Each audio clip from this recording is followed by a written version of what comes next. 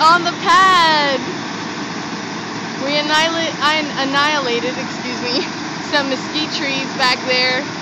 Um, and uh, the container was slowly moved off of the uh, railroad ties.